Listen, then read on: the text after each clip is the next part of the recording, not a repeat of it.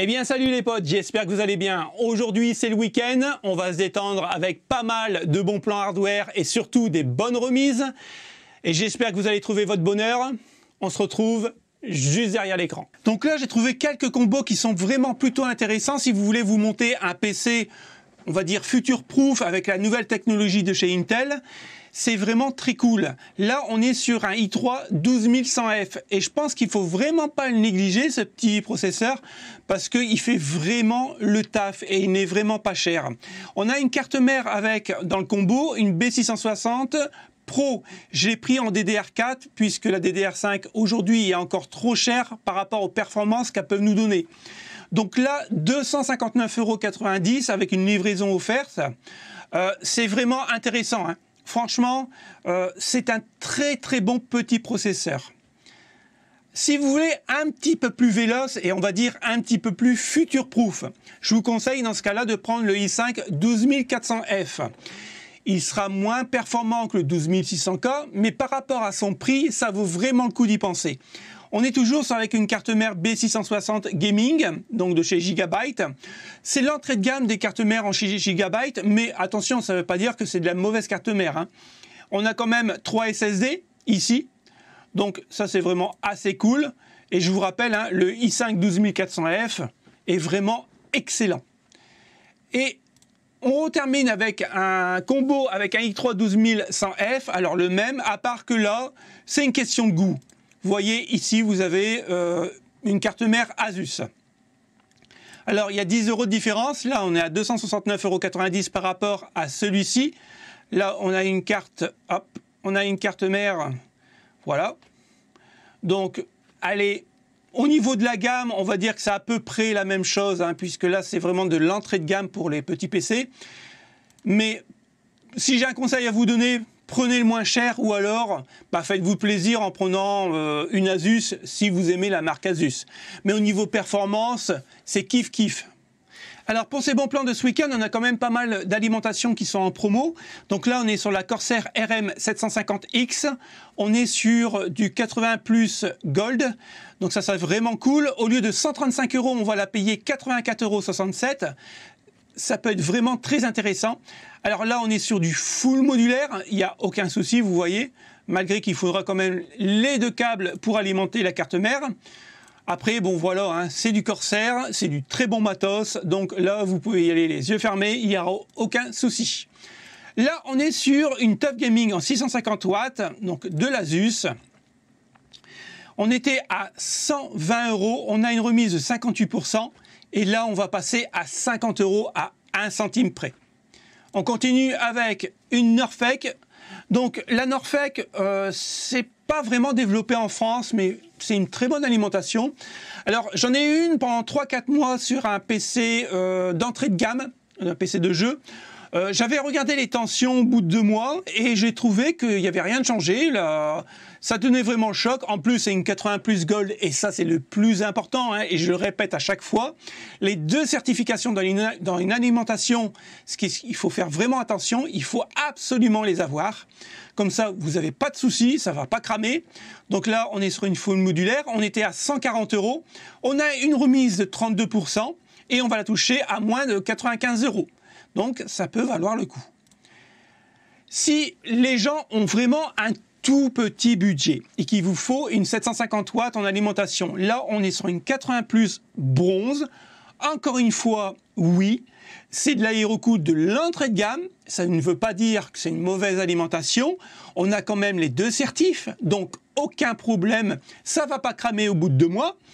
J'en ai une comme ça, ça fait quasiment 3-4 ans maintenant que je l'ai, que ça tourne 8 heures par jour sans aucun souci. 69,90 euros. Encore une fois, hein, si vous avez un petit budget, vous pouvez y penser.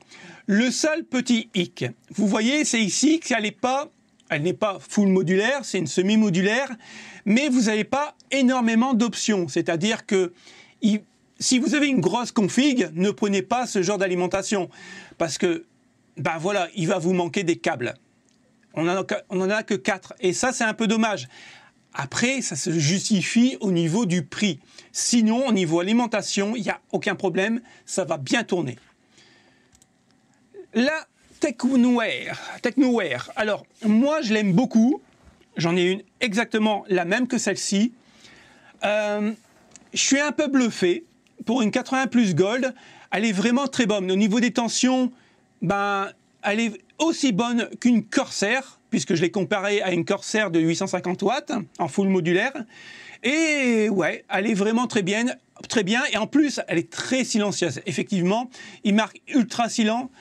Franchement, elle est super silencieuse. Donc 99 euros, franchement, ça vaut le coup. Là, 650 watts, encore une fois, une Aerocool Luxe RGB, 58,19 euros pour les petits budgets. Vous en avez largement assez. Et plus tard, quand vous évoluez dans un PC plus haut de gamme, changez votre alimentation. On continue avec les écrans et là on est sur un Ultra Gear 27 pouces. Attention, c'est du 4K, 144 Hz, overclockable à 160. Il faut savoir qu'un écran généralement quand l'overclock, généralement, c'est entre 15 fps de plus, voire 19. C'est très rare qu'on arrive à monter à 20. Donc là, on peut le faire. Euh, à l'arrière, voici, on a une petite bande RGB. Alors certains vont me dire dans les commentaires, ça sert à rien. Il y en a pour tous les goûts et il y en faut pour tous les goûts. Alors, si vous n'aimez pas le RGB, arrêtez de critiquer ceux qui aiment le RGB. Là, on était à 900 euros, on a une remise de 28 euros, 28%, pardon, et ça va tomber à 647,88 euros. Ça peut être vraiment intéressant si vous voulez vraiment jouer en 4K. Après, attention, un écran, c'est un investissement. Vous allez garder pendant des années, et je pense qu'il faut mettre un petit peu plus d'argent pour un écran que, par exemple, pour un disque dur. C'est mon avis. On continue avec l'MSI optique. Là, c'est du 75 Hz. 138,99 euros au lieu de 170 euros. Je l'ai pris pour les gens qui voudraient avoir un écran pas forcément 144 Hz, malgré que les prix sont vraiment tombés actuellement. Donc là, c'est vraiment pour jouer. Vous pourrez jouer au FPS hein, sans aucun problème, mais dans ce cas-là, je considère, qu'il faut même prendre un 144 Hz. 75 Hz, c'est très bien pour tout ce qui est multimédia, pour bureautique et bien sûr pour des jeux MOBA ou de stratégie. Ça peut valoir le coup. L'Ultra en 27 pouces, là en 2K, en nano IPS, donc vraiment très bonne colorimétrie sans aucun problème. 165 Hz overclockable, vous voyez, à 15 de plus. Donc 180 Hz, HDR 400. Compatible G-Sync, Nvidia et AMD, donc ça c'est vraiment très cool. Donc pareil, hein, celui-là il n'a pas de bande RGB, ça va faire plaisir à certains. On est à 339 euros au lieu de 500 là, ça peut vraiment valoir le coup. Ici, on est sur du 144 Hz Full HD en 24 pouces, 158,99 euros au lieu de 200, toujours en MSI. On continue avec un Ultra Gir en 27 pouces. Là, on est toujours sur du nano IPS, donc 1 milliseconde en temps de latence, 144 Hz overclockable, HDR 600 cette fois-ci. Attention, on est sur de la 4K, 682 euros au lieu de 900 ça peut valoir le coup. Le BenQ Mobius, j'ai exactement le même juste derrière moi, j'ai toujours pas déballé, j'ai pas encore eu le temps. On était à 249 euros, 12% de remise ce week-end et on le touche à 219, 144 Hz. On pourra l'overclocker à 165 Hz. Maintenant, je pense que le 144 Hz, 165 Hz va se, vraiment se démocratiser et ça va être l'écran de base pour les gamers. Donc, à y penser, 219 euros du 249, il y a 30 euros de gagné, c'est toujours ça de gagner. Le BenQ Mobius, cette fois-ci en 27 pouces, 1440p, 165 Hz HDR 400. Attention, on était sur du 600 euros. On a 34% de remise et on le touche aujourd'hui à 394 euros. Et vous avez des petites lettres RGB plutôt sympas. Un écran 144 Hz, toujours overclockable, hein, bien sûr. Donc là, on est sur une dalle IPS, hein, Full HD. Moi, j'aime beaucoup. Donc, au niveau colorimétrie, c'est vraiment tip top. Il est assez sobre, il fait pas trop gamer. On est à 175,99 euh, euros. Attention, vous avez un petit coupon à utiliser ici de 5%. Donc, c'est toujours ça de gagner. On est sur le MSI Optique G24 C6, donc incurvé à 1500R, Full HD, 1 milliseconde, attention c'est une dalle VA, 144 Hz, et au lieu de 220 euros, on va payer 159 euros ce week-end. Alors, il y a, c'est pas vraiment une bonne occasion. Alors voilà, on est à 139 euros comme neuf d'occasion. Donc on a toujours la garantie Amazon, mais vous voyez, on a 18 euros de frais de livraison. Donc c'est pas terrible. Après, attention, je ne suis pas connecté sur mon compte. Donc si vous avez Amazon Prime, à mon avis, les 18 euros, vous les paierez pas. Et le dernier, parce qu'il en faut pour tous les goûts, le petit Asus. Alors c'est de l'ancienne génération, mais au lieu de 280 euros, on va le payer avec une remise de 40% à 169 euros. Donc là, on est sur du 144 Hz avec une dalle de 27 pouces Full HD. Encore une fois, n'allez pas plus haut que du 27 pouces en Full HD parce qu'après vous allez avoir des gros pixels et c'est pas très joli. Mais bon, pour 169 euros, 27 pouces, ça peut peut-être valoir le coup pour certaines personnes. Alors là, j'ai trouvé quand même pas mal de souris, donc vous ferez attention parce qu'il y a du Amazon France et Amazon Allemagne. Donc là, on est sur la Logitech G Pro X Superlight. Donc 25 euh, 000, presque 26 000 DPI, donc on pourra faire tous les jeux sans aucun problème. 160 euros au prix de départ, mais aujourd'hui on va la toucher à 96,92 euros avec une remise de 39%. Ça peut être vraiment intéressant. Après, au niveau du look, elle est quand même assez sobre. Hein, euh. ça reste du Logitech. Généralement, avec Logitech, il n'y a pas de souci. La Riser Viper Ultimate avec sa station de recharge. Donc, ultra légère, ambidex. Vraiment, si vous êtes un... Là, c'est plutôt ça, s'adresse plutôt aux joueurs assez rapides, qui ont vraiment un beau flow au niveau du jeu. Bon, moi, ça ne me sert pas à grand-chose parce que je suis une quiche au niveau FPS. Au lieu de 170 euros, vous allez la payer aujourd'hui 108,98 euros avec une remise de 36%. Et là, c'est vraiment intéressant. On continue avec la Gorlius PC Gaming. Moi, je l'ai commandé. Euh, ça monte jusqu'à... Euh, 19, des, 19 000 DPI, donc euh, bon, je joue à 7200 DPI, donc on verra bien ce que ça donne. Euh, on a une alimentation qui va, enfin une batterie qui va durer jusqu'à 71 heures, donc ça c'est assez cool. 114 euros, enfin 115 euros prix de départ à 10 centimes près, et on la touche aujourd'hui à 102. On continue avec la G502 Hero. Je ne vais pas en parler plus que ça parce que c'est une, une, une, souris qui date de plusieurs années, mais qui est vraiment excellente. 89 euros au prix de départ et aujourd'hui on la touche à 49,89 euros. Franchement, si vous avez un budget de 50 euros et que vous cherchez une très bonne souris, prenez-la. Elle est vraiment très bonne. La 6 Series, donc la wireless, plutôt sympathique et ergonomique. C'est pour les petites mains, je trouve. Au lieu de 140 euros ce week-end, on va la toucher avec une remise de 45% à 77,25 euros avec bien sûr 100 heures d'autonomie et on a un capteur optique, attention, de 18 000 dpi. La Riser, donc là c'est vraiment pour les petites mains, donc plutôt pour les enfants ou alors pour les femmes. On était à 60 euros au prix de départ, on va la toucher à 21 euros. Donc ça peut être vraiment intéressant.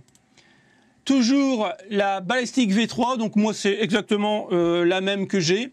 Euh, j'ai changé ma PicTech. Euh, pour être honnête, entre ma PicTech et celle-là, je vois pas trop la différence. Celle-ci, elle est plutôt costaud. Après, il faut aimer le style, bien sûr, Riser. Moi, j'aime beaucoup.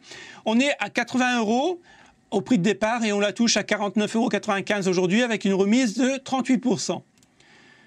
La Black Shark souris, encore une fois, c'est pour on va dire, les petites mains. Alors ce qui est pas mal, c'est que vous voyez, vous pouvez changer ici l'arrière. Soit vous le mettez comme ça, ou alors en nid d'abeille. Mais bon, voilà, 70 euros prix de départ, 47% de remise sur la souris. Euh, une souris avec un nid d'abeille, donc avec 10 000 dpi, elle est très très légère. La Logitech G903 Lightspeed, 25 000 dpi. Au lieu de 149 euros, on va la payer 91,74 euros. La Riser Naga Trinity, moi je l'aime beaucoup, surtout pour les montages vidéo, elle est vraiment très pratique parce qu'on a pas mal de boutons et vous pouvez... C'est plutôt une souris, on va dire, pas vraiment fait pour le FPS, mais pour tout ce qui est, bon, on va dire montage vidéo, mais bien sûr pour les MOBA et les jeux de stratégie, c'est une souris qui est plutôt intéressante. 110 euros prix de départ, ça coûte quand même assez cher, on a une remise de 39% et on va la toucher à 67,50 euros. La rocate, je la trouve très très belle et en plus, elle est très bien finie. En plus, C'est des fabrications allemandes, donc rien à dire. Donc, vous voyez, elle est vraiment très très jolie. Bien sûr, c'est du RGB. Hein. Il y a Dan qui en a une. À mon avis, si vous voulez des conseils, posez-lui la question en commentaire ou allez directement sur sa chaîne. Là, on est à 59,99€ et on va la toucher aujourd'hui avec une remise de 33% à 39,99€. La petite dernière, là, ce qui est vraiment pas mal, c'est qu'on a 10 000 DPI.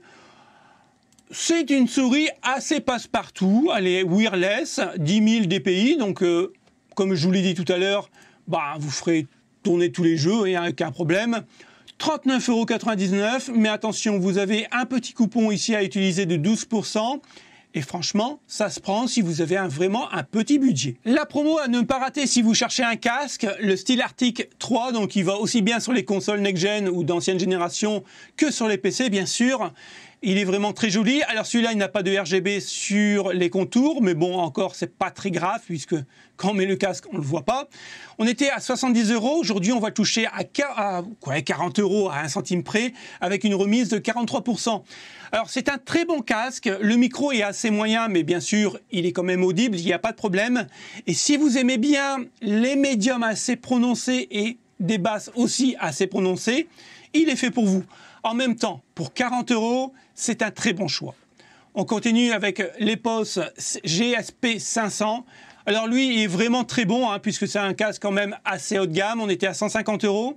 Aujourd'hui, vous allez le toucher à 96,93 euros sur PC Component. Et on a une remise de 34%. Niveau micro, encore une fois, moyen. Mais par contre, au niveau de la sonorisation, c'est vraiment tip top. On continue avec l'HyperX Cloud Alpha 2 on va dire que c'est le casque indétrônable, même s'il est quand même assez vieux, il est vraiment très bon. Le micro, encore une fois, malheureusement, il est moyen, mais il est audible, sans aucun problème. Au niveau, on va dire, du bruit du casque, il est assez prononcé au niveau des basses, mais sinon, je veux dire, c'est un passe-partout. Il fait le taf partout, sans aucun problème. Et là, au lieu de 100 euros, vous allez toucher à 75 euros. On continue avec le Tempête Apocalypse. Donc là, c'est un combo et si vous n'avez pas vraiment les moyens de vous acheter tout au détail, ça peut être vraiment intéressant. Alors attention, je ne l'ai pas testé. C'est un produit d'appel, donc d'entrée de gamme, mais je pense que ça peut vraiment faire l'affaire. Là, vous avez quatre produits pour moins de 60 euros à un centime près le casque, la souris, bien sûr le clavier et le tapis de souris. Ça peut être intéressant. Le Logitech G Pro, donc lui, il est très bon. C'est un passe-partout. Euh, il sait tout faire, micro moyen, un peu plus de basse au niveau de la couleur euh, du son, mais 100 euros. Et là, on va le toucher à 70 euros 70 avec une remise de 29%. Ça peut être un bon compromis. Après, c'est du Logitech, c'est très bien fini. Et on n'a pas trop l'impression d'être dans un étau quand on le met. C'est vraiment cool. Le JBL, le Quantum 400, alors je l'ai essayé. Il n'est pas au niveau du MMX 300, mais ça reste un excellent casque. On a du RGB euh, sur les deux côtés qui est vraiment pas mal, paramétrable hein, bien sûr. C'est un bon casque. Euh, très bonne écoute. Le micro est vraiment pas mal. 74,95€ au lieu de 100. Franchement, si vous avez le budget de 75 euros, prenez-le, vous ne serez vraiment pas déçus. Le Ryzen Kraken Ultimate, au lieu de 150 euros, on va le toucher aujourd'hui avec une remise de 28% à 108,10 euros. Euh, on a du RGB un peu partout. Euh, il est vraiment pas mal. Moi, j'aime beaucoup. Euh, assez prononcé au niveau des basses. Donc, au niveau des FPS, il n'y a aucun problème. Vous allez bien entendre les sons de grenade ou d'impact au niveau des balles. Après, au niveau du micro, ça reste audible mais moyen. Mais ça reste un excellent casque. Et en plus, ce qui est bien avec ce casque, c'est que quand vous le voyez comme ça, il a l'air assez mastoc, mais quand vous le mettez, vous l'oubliez vous l'avez sur la tête au bout de 10 minutes. Et ça, pour les longues sessions de jeu, c'est vraiment très cool. Si vous voulez jouer en 2K avec un très bon taux de FPS, je vous conseille à 3070 de chez Gaming OC, de chez Gigamag, 647,90 euros au lieu de 1040, ça peut vraiment valoir le coup. Attention, vous êtes sur Amazon Allemagne. On continue avec une 3070 à 587,70 euros. Ça peut vraiment valoir le coup pour le prix. On n'a que deux ventilateurs, mais c'est pas encore très grave. Euh, malgré que les RTX chauffent un petit peu plus que les AMD, ça reste quand même assez contenu pour une 3070. On continue avec une 3058 Go à 373,44 euros. C'est la moins chère que j'ai trouvée, au lieu de 515,90 euros au prix de départ. Donc c'est celle-ci. Pour du 1080p, euh, c'est vraiment pas mal. C'est vrai que c'est une bonne carte. Pour moi, elle est encore un peu trop chère. La PNY en 3060, 458,16 euros.